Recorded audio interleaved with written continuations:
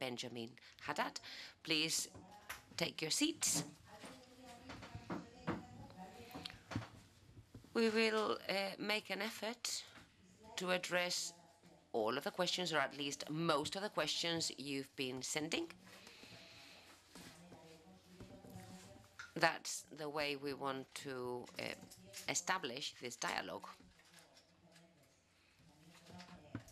We wanted to make this Q&A session to look a little bit different, as you can see from the sitting arrangement, and then uh, we will go for lunch. So we have very interesting, highly varied questions, that's the good news, all ready for our experts. And thanks to the interpretation services, by the way, uh, we've been told that the people are particularly happy to have a Basque booth as well for the Basque language, one of the comments that was sent. Uh, another comment uh, was very few women in this field, right, Ainhoa? You're nodding, yes. Yes, I was saying one of the comments we were sent, uh, not many ladies, not many women in this field. The comment said that women have an important role in what is to come in cybersecurity, surely.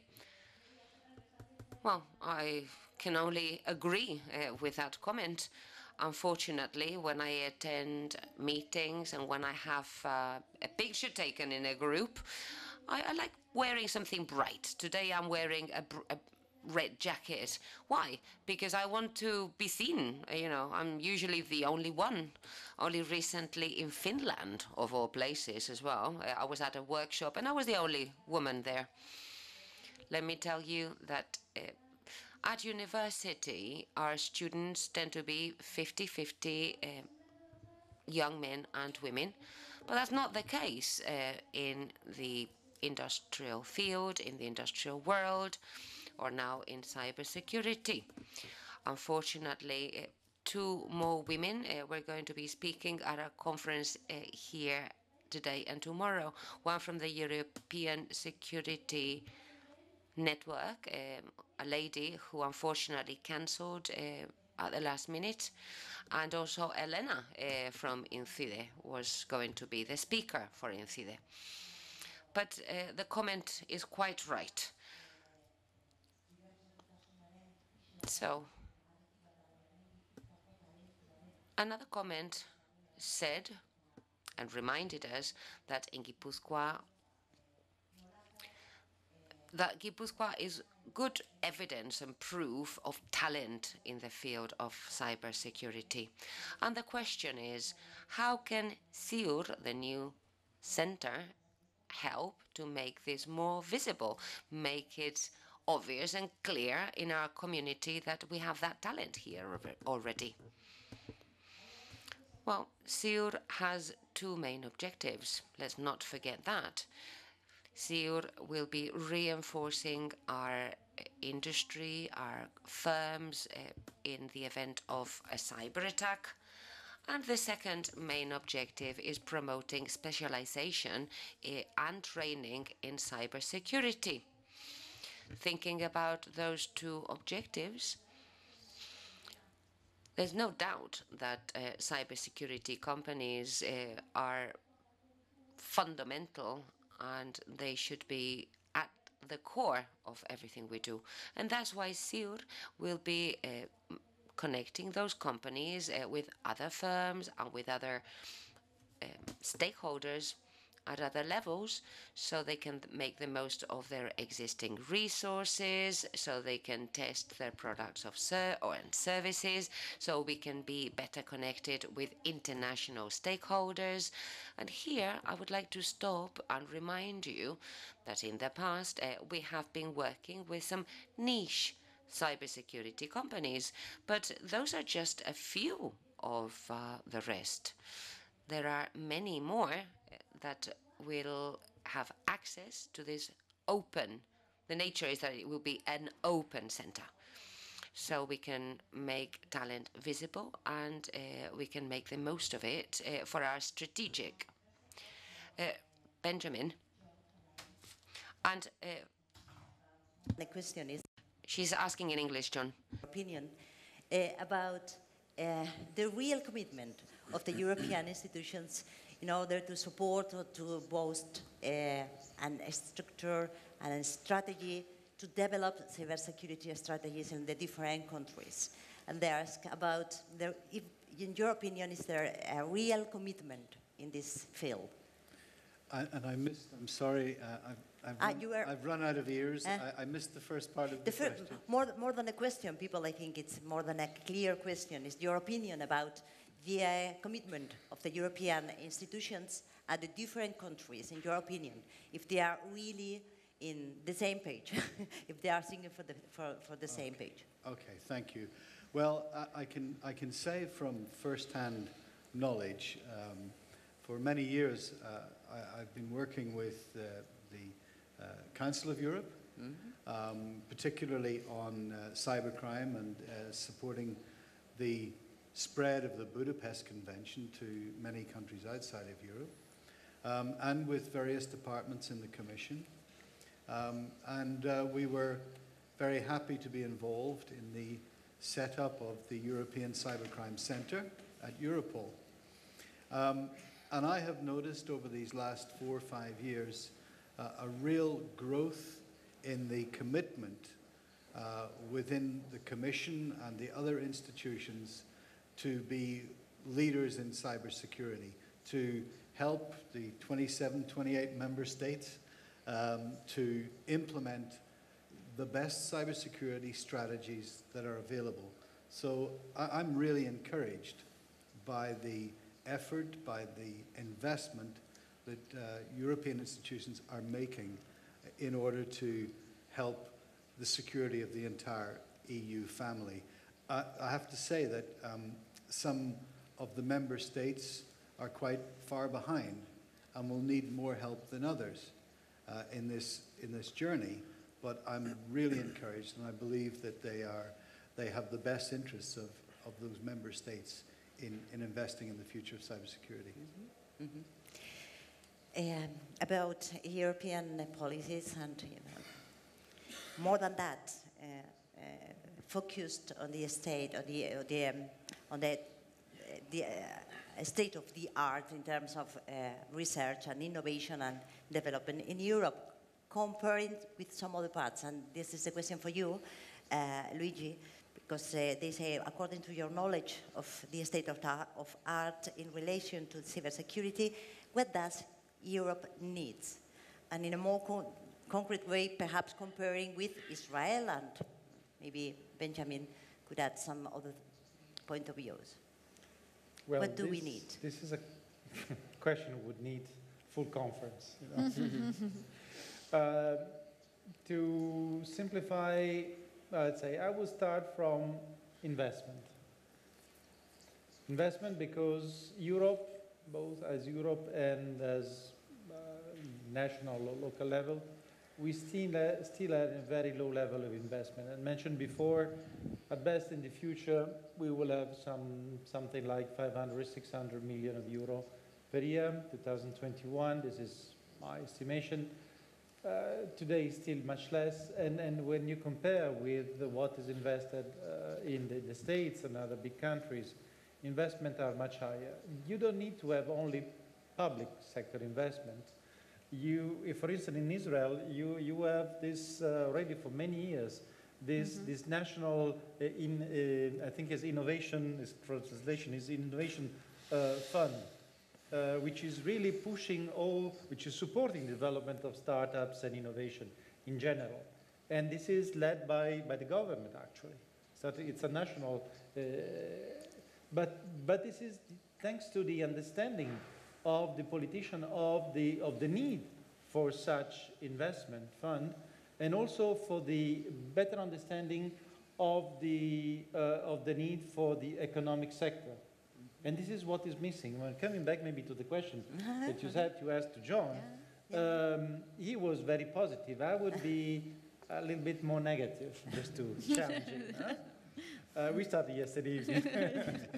um, a bit more negative in the sense that the Commission is just understanding, starting to understand what cybersecurity is, what the European uh, digital, uh, single digital market is and what are the needs.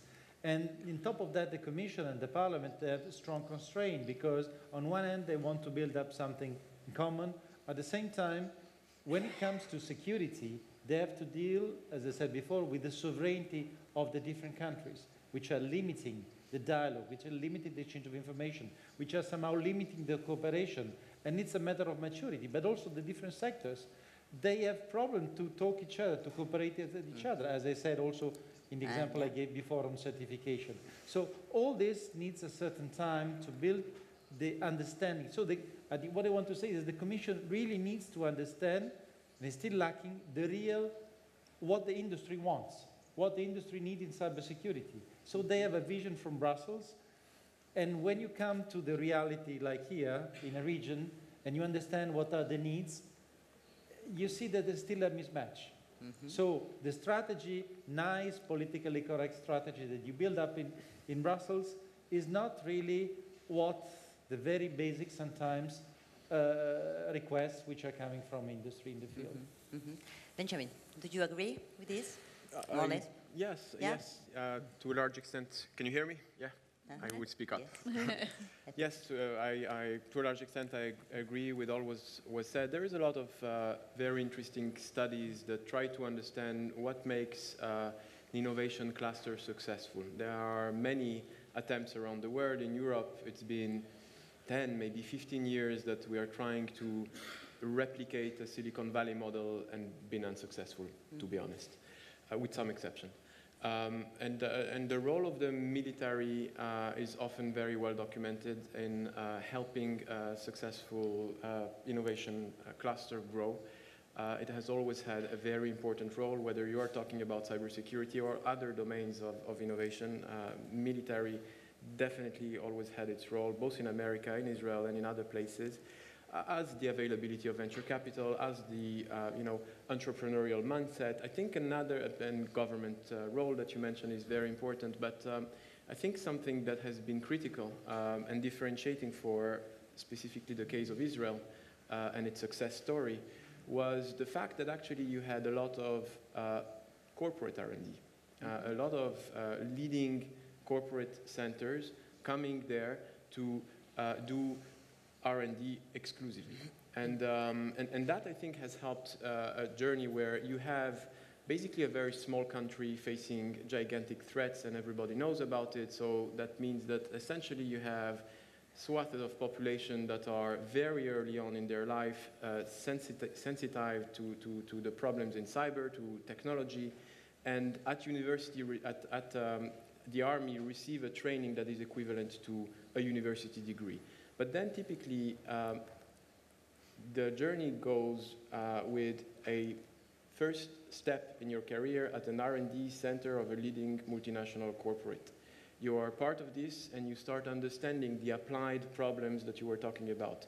When you go work for the R&D center of uh, ABB, of Siemens, of uh, Citibank, you start having the real world knowledge of what a trader in London is struggling with, of what uh, um, industrial production line is really concerned about, and then you move out and create a startup.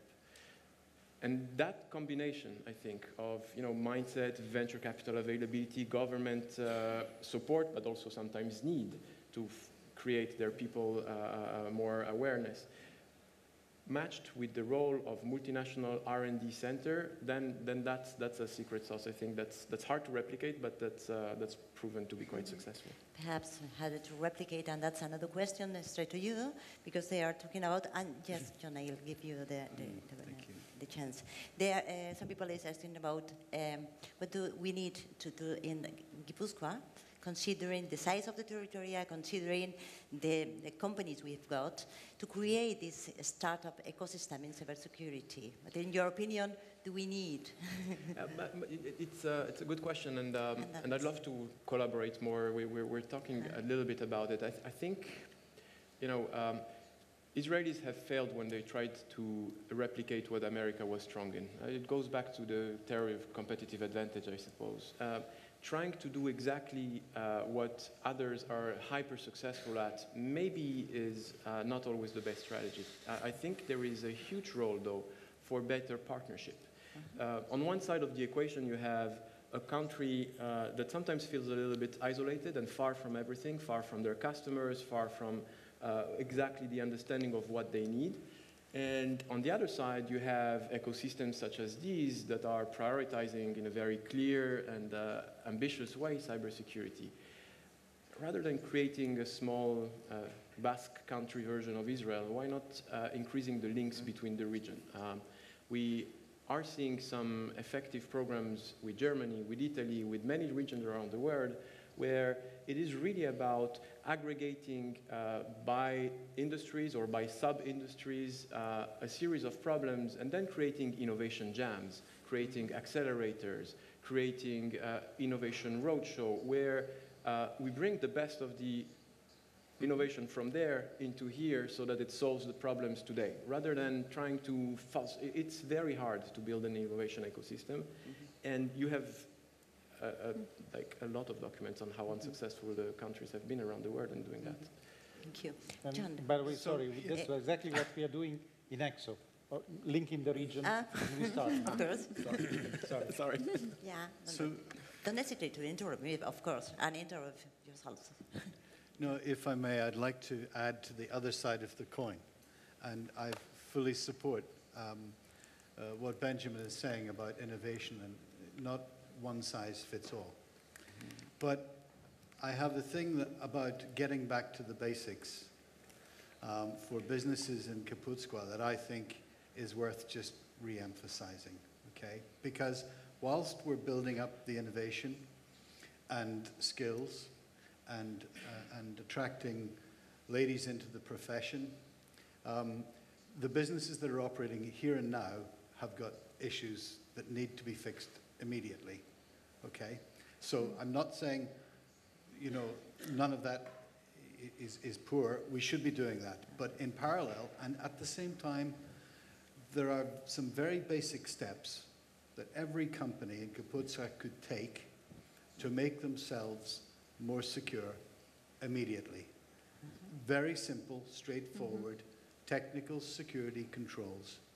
We'll have a list of them at the center, which you know, our job will be to share with you, and by supporting our technical security companies, they can help with a small amount of consultancy and work. So it's a, it's a bit like home. If you imagine, how many times have I been asked, uh, if you know anything about computers, your, your aunt or your grandmother or your mother says, John, how do I, how do I secure this new laptop I've bought? well, you know, keep your operating system up to date, Keep your antivirus and security suite up to date and don't click on links from people you don't know. Okay? So those are the basics for home, if you like. And there are some very simple things that every business can do, which are not expensive, can be done immediately, and will mitigate up to 80% of common online threats. Okay? They won't help you fight the Chinese, but they will help you fight the, the digital cyber carpet bombing that we're seeing every day. Okay, so I'd like us to, to start with the basics also. Thank you. Interesting to see that people is commenting you know, by Twitter, for example, they are commenting on your comments, and they are just adding those, those other points of view. So it's very interesting to see that we are really uh, talking to, to, to each other. Um, Alex, behin eta berriro, aipatzen da, galderatan, eh, betiko... Uh, Alex? Sektore pribatua, hemen nolabait ordezkatzen ari gara. Eh, Perdón, pero no nos llega sonido a cabina. Estaremos... Sorry, but the sound is not reaching the booth. Uh, we'll be back, hopefully, as soon as it does. Apologies. Oh, now. The question is, how can we have better synergies between the private and the public sector and also collaborating with public institutions? Because we've heard about synergies, for instance, between ZIUR, the center, and uh, other stakeholders. It sounds like uh, we're doing things right in the Basque Country in this sense, right? Well, public-private partnership is paramount uh, right now in this field, and it's not that hard, in fact, because we have public institutions on the one hand uh, that need to have clear objectives, and then um, it's um, ever so simple, really. My uh, training and my experience uh, was in the private sector. So what needs to be done? Public institutions need to listen to the companies, to uh, the technology experts, and then uh, set in motion projects. And there are many success stories uh, of uh, projects and activities that have been very, very successful. That's the key to the success uh, of a PPP. For instance, uh, Benjamin mentioned uh, the possibility of building bridges, for instance, between the Basque Country in, and Israel. That would be a partnership, that would be a collaboration. And for that to succeed, we would just need to listen to one another. What is the same thing if it's uh, a PPP here? Listen to one another and uh, have the necessary tools.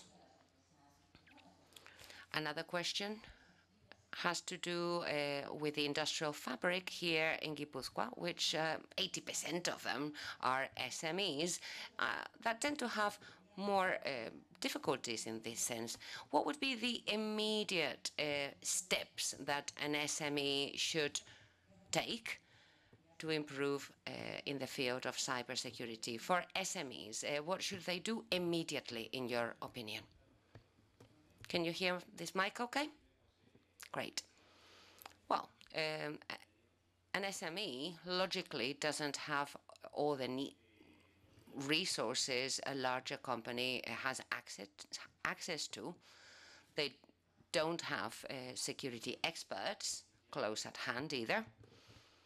And because of that, uh, awareness is basic for an SME uh, and diagnose uh, where they are at which point they are.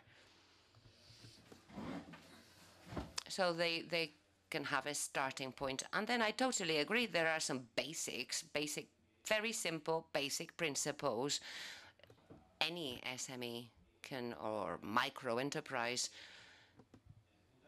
should implement. Very, very basic ones, I insist. So these basic points or best practices uh, really make a difference talking about digital security or cyber security.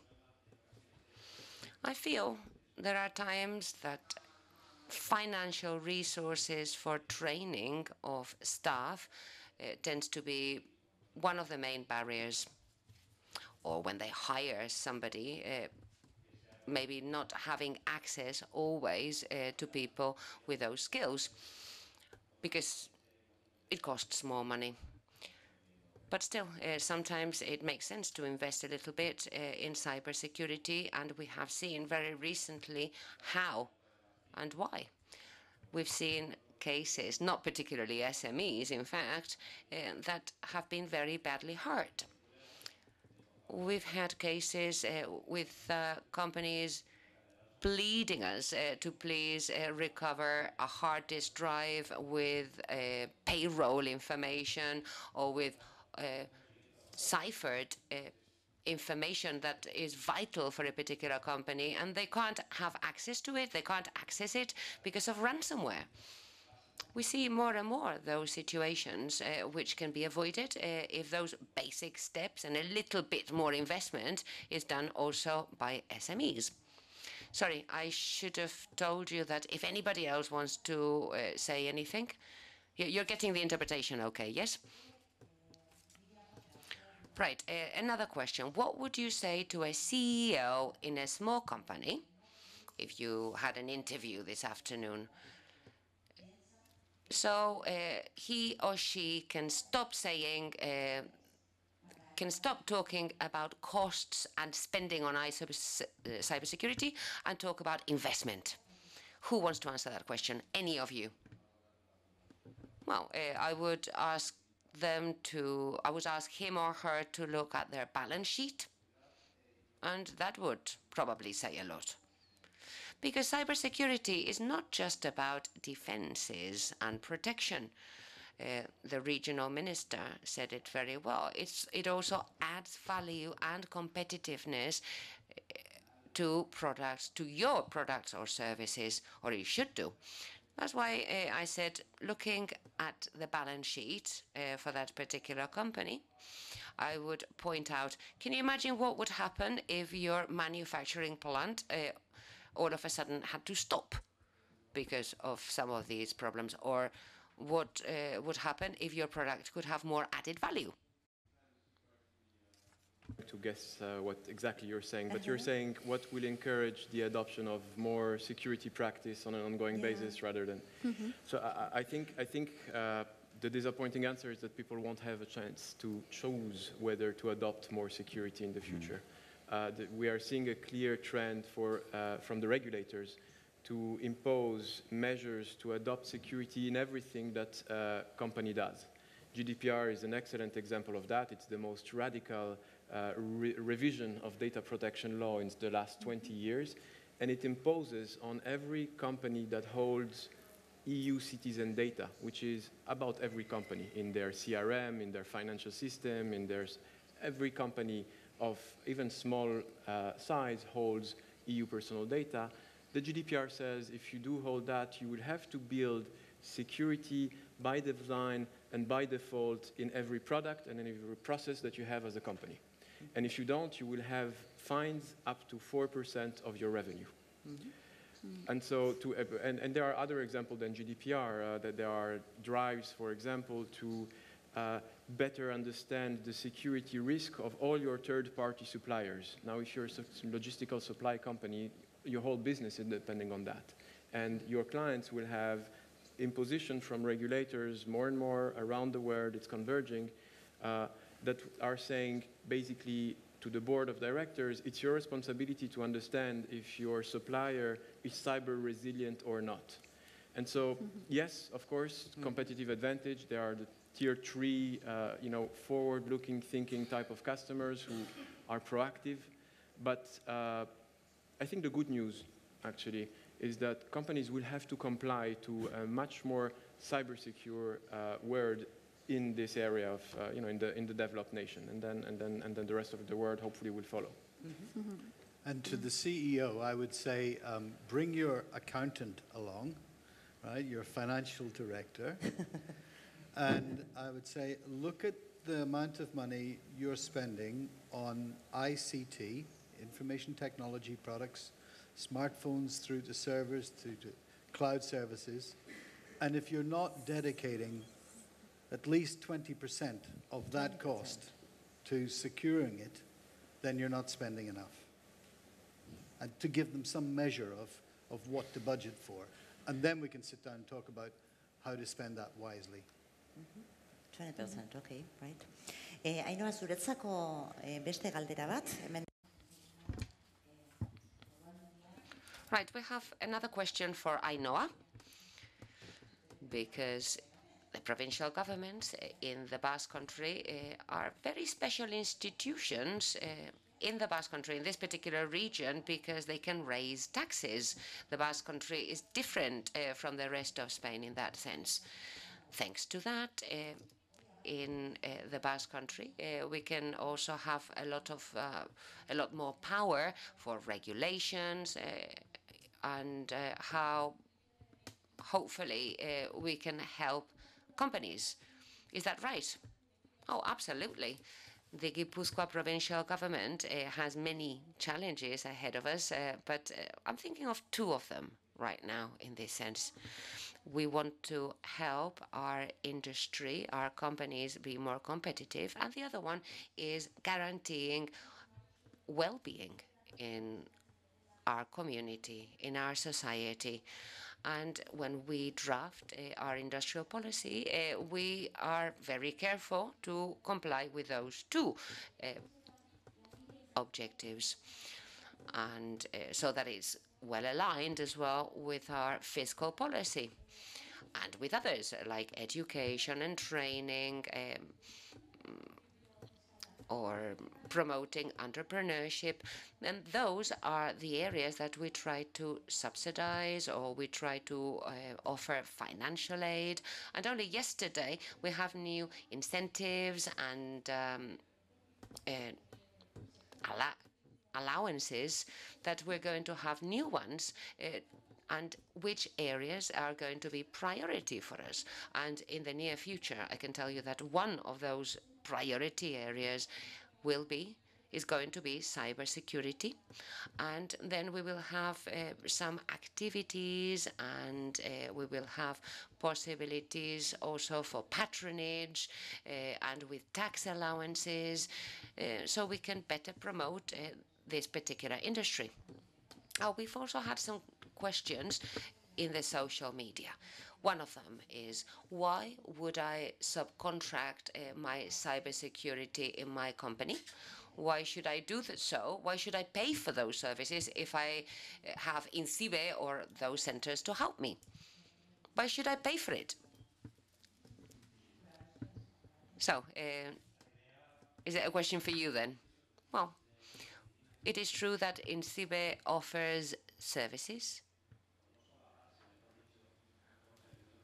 which we don't want to for them to overlap uh, with products and services that private companies provide. In fact, we're hoping that our services uh, can or we can guide uh, people who come to us uh, to those companies uh, that can provide them with those services. So once again, we don't want to um,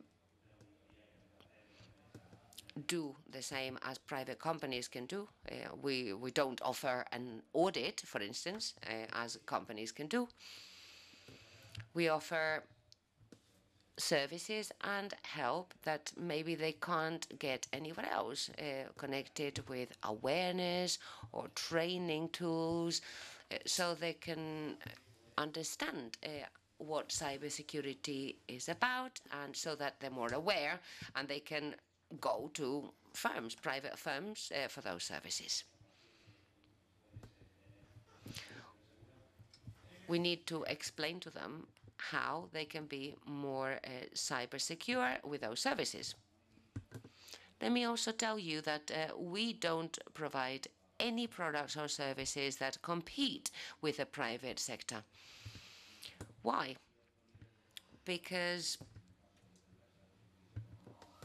the Basque Security Center eh, has very, very clear that we want to promote uh, the private industry and private supply. And uh, we want to collaborate with those firms. So if somebody thinks they can come to us for a free service, uh, well, that's not the case because services we offer are subcontracted with private firms and there's a tender, there's bidding for it. Uh, so when services are provided by us, it's private companies uh, that do so. Why? Because the Basque Security Center, uh, to be able to provide ourselves uh, any of those services, we would have maybe 50, uh, 60 people uh, working for us. So that's not a problem at all. Well, I think representatives from all three institutions that have been present here, uh, I think we've all tried to explain that we don't want to compete uh, with the private sector. And when we've done the study, the diagnosis, the monitoring, uh, we have been working with them, with private companies. Benjamin, a question for you in English.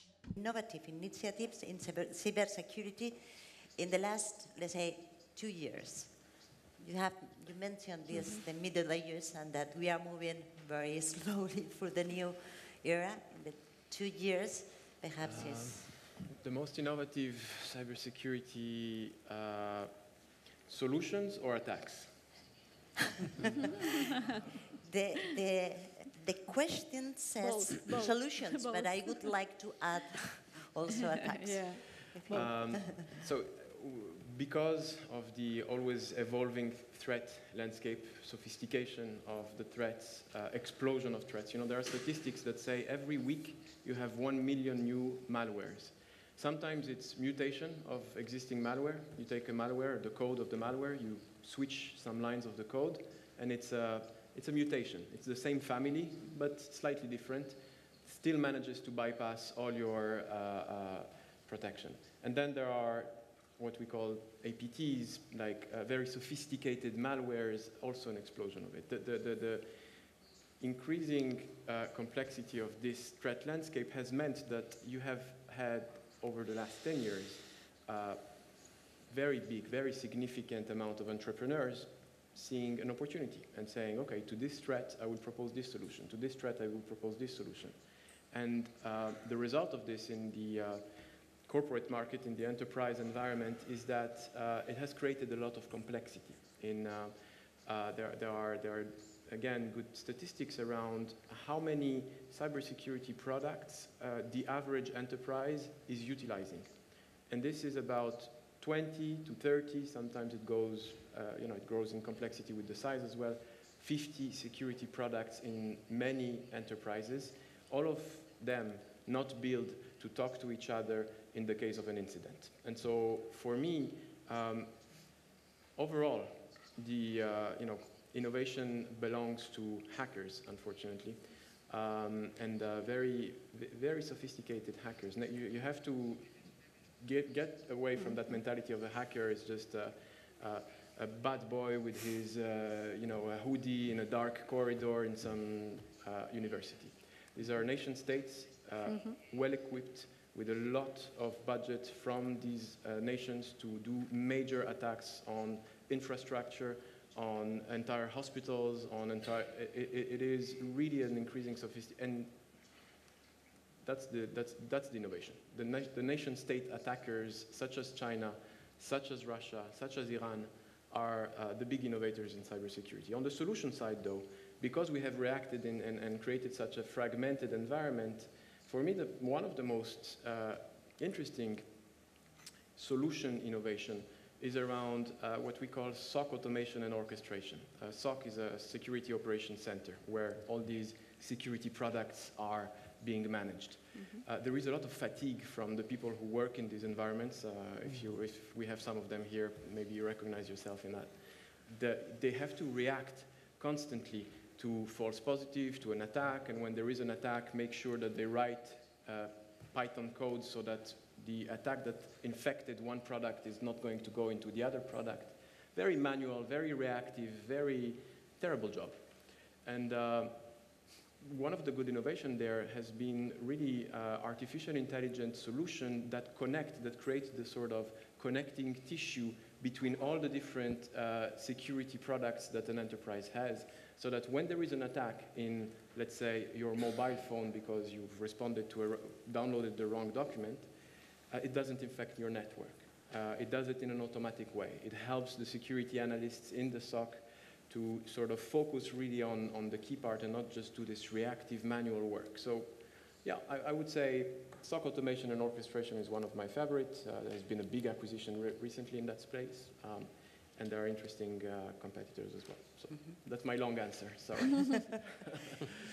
Something to add? Ba, hola ez baldin bada, besterik ez badago agurtu behar dugunez. Any further questions or comments from the floor? And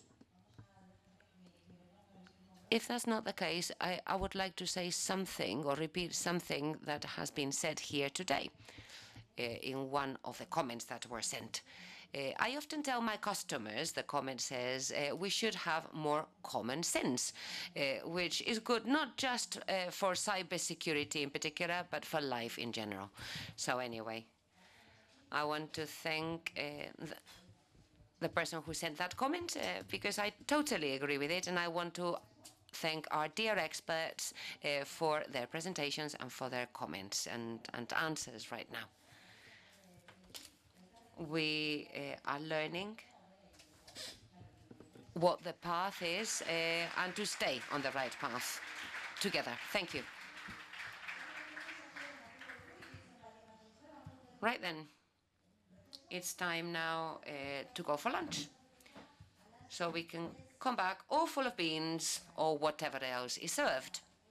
That was a joke from the interpreter. But again, uh, we'll be back at three. Ready to start